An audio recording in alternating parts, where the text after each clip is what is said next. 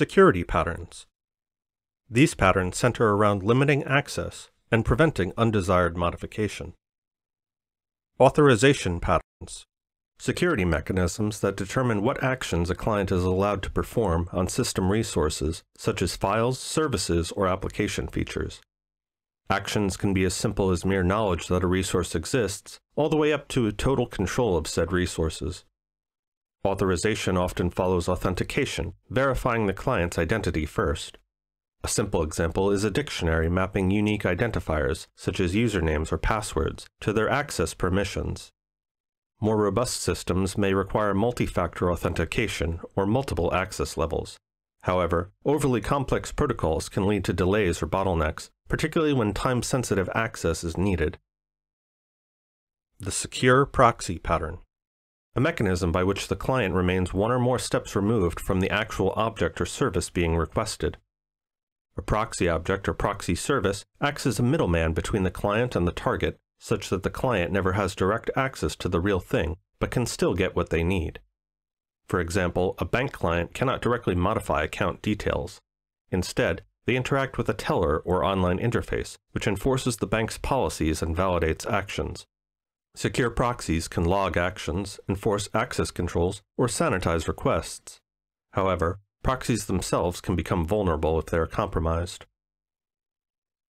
Single Access Point a design that consolidates all access to sensitive code or resources through a single, predefined entryway, eliminating backdoors. For example, a class with private fields may use public getters or setters to control access.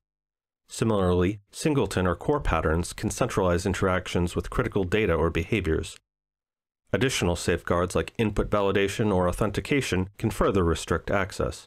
However, this pattern requires careful design to avoid bottlenecks or loss of access if a single entry point fails or becomes inaccessible, such as forgetting your password. Intercepting Validator A pattern where filters intercept requests or responses to validate, modify, or block them. Filters, such as guard clauses or middleware, can check conditions, sanitize inputs, or apply security policies. These can be chained together to enforce rules, route requests, or handle exceptions without altering the underlying logic. For instance, an API might validate tokens, log activity, and sanitize data before processing. While flexible, overly complex chains can introduce latency or obscure the flow of control the secure factory and secure builder patterns. An extension of creation patterns like factory or builder, where sensitive information must be protected during object creation. For instance, a secure factory might validate inputs, encrypt outputs, or restrict access based on user roles. This ensures that sensitive data like API keys, passwords, or configurations are handled discreetly. While this adds a layer of security, it can also increase complexity and require additional safeguards against factory misuse.